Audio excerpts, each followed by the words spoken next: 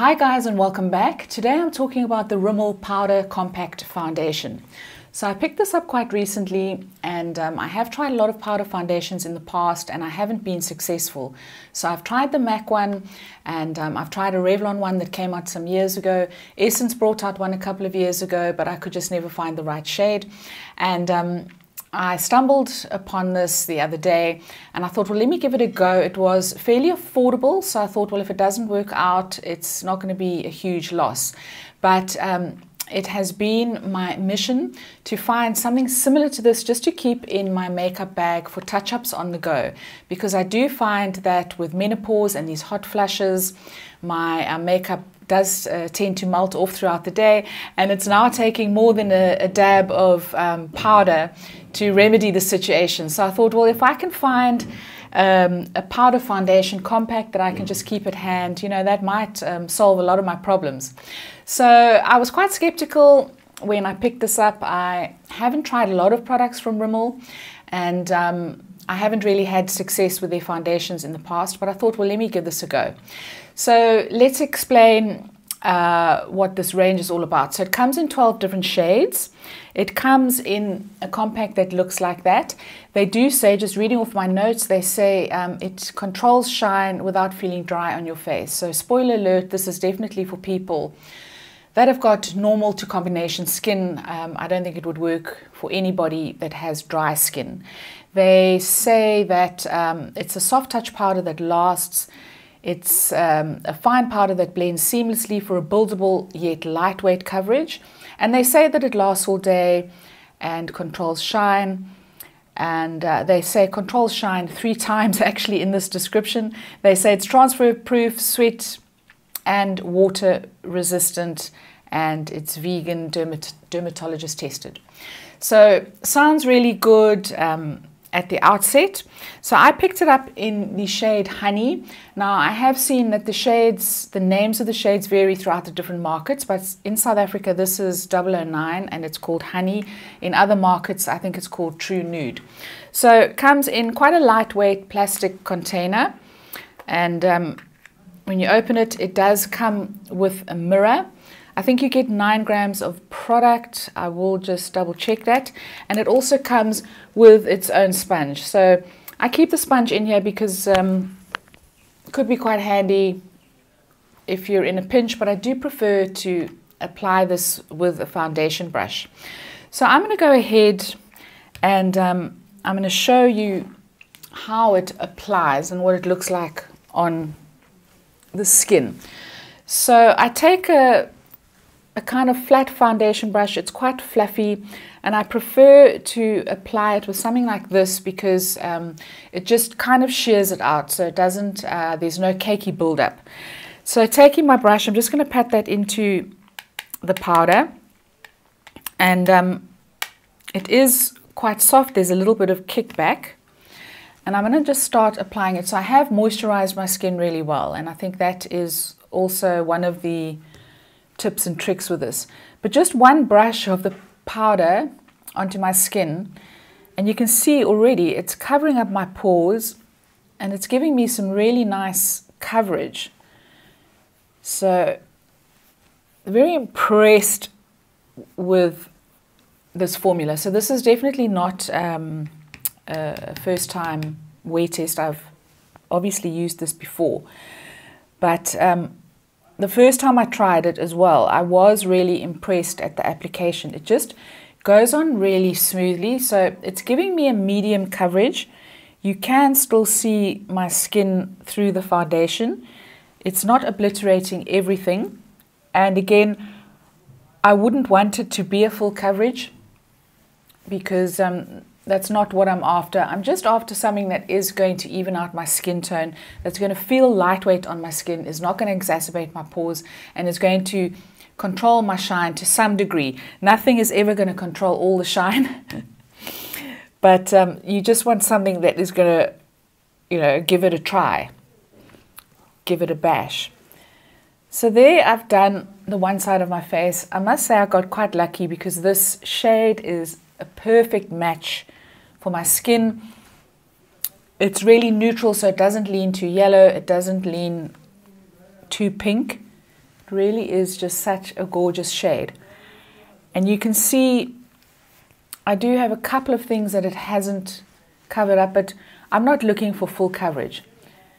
So that is the side with foundation. And that is the side without. So already I got very excited at the way that this applied. I just thought it was really quite beautiful. It's very easy to apply as well. You know, you don't run the risk of any streaks because it is a powder foundation. You just kind of gently buff it into the skin. So, mm, really very, very impressed with this application. You must excuse all the banging. I do have workmen. and they happen to be now right outside the window, which wasn't the case when I started the video, but anyway, we'll power through. So, um, yeah, I'm really, really enjoying this. Now, at first glance, you're not going to need to apply a powder. Um, that probably defeats the object for a lot of you, but I do find that throughout the day, I do have some oils that come through because my skin is combination. And so I would often just apply a powder, a blotting powder to blot away the oils. But now that I'm carrying this in my makeup bag, I just take a little bit and I just kind of dot. It's normally my T-zone area. So I just dot and it takes the shine away. And it does help to just smooth the pores. So really, I think that this foundation is a fabulous one for just um, a very a, a medium coverage, but just days where you don't want to look like you've tried too hard. So you've got something on your skin, it's evened out your skin tone. That's what it's doing for me. It's giving me a very natural finish. So it's definitely not cakey at all. It's definitely not exacerbating my pores. I did find that throughout the day, it did um, kind of sink into my pores slightly. Look, anything I think is going to do that um, on my skin.